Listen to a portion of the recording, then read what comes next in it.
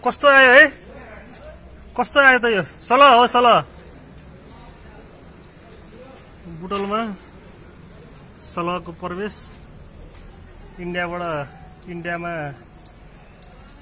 प्रवेश गरेको भन्ने समाचारहरू सुन्न र पढ्न पाइएको थियो।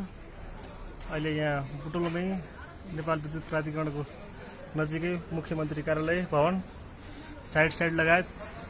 वरिपरि हाम्रो यो प्राङ्गण वरिपरिको परिवेश ढाक्ने गरी यसरी सलह किराहरू देख्न सकिन्छ।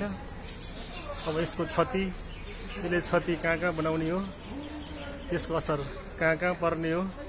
यो एउटा शोचनीय विषय भइरहेको छ।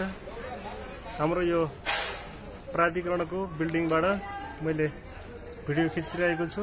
यो भिडियो खिच्दाखेरि अहिले आकाश लगायत वरिपरिका रुखहरू पुरै सलह किराले ढाकेको अवस्था छ। यसले कस्तो कस्तो खालको असर पार्छ भन्ने कुराहरू चाहिँ शोचनीय विषय भएको छ।